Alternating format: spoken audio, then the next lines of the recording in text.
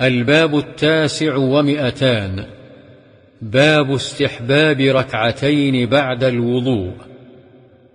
عن أبي هريرة رضي الله عنه أن رسول الله صلى الله عليه وسلم قال لبلال يا بلال حدثني بأرجى عمل عملته في الإسلام.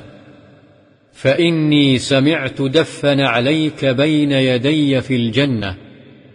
قال ما عملت عملا أرجى عندي من أني لم أتطهر طهورا في ساعة من ليل أو نهار إلا صليت بذلك الطهور ما كتب لي أن أصلي. متفق عليه. وهذا لفظ البخاري. الدف بالفاء صوت النعل وحركته على الأرض. والله أعلم.